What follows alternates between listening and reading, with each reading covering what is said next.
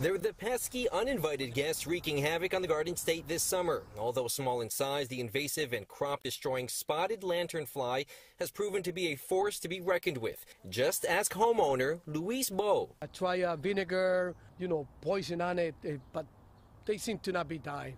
The persistent bugs have taken up residency on a fence along the side of his Nutley home. Last year we saw just a few.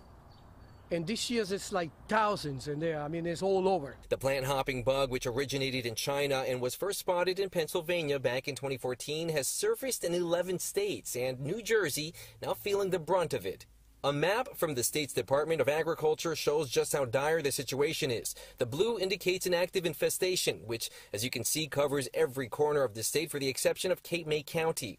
Plants, trees, crops, these insects are destroying everything in their path. State officials now on high alert. Where we're seeing the greatest impact is to our farmers, specifically our wine grape growers.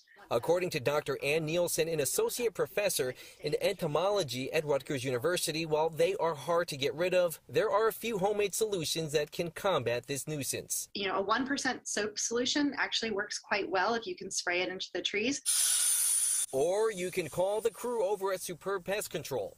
The Woodbridge based company has been inundated with service calls from clients throughout Essex, Middlesex, and Union counties, all asking to help fight back against the lantern fly. It now accounts for a bulk of their business. Their approach using a two step technique involving a spray and fog packed with an active ingredient that doesn't harm plants. They say it sends these bugs running. Most yards have at least 200 nymphs in it at, at one time.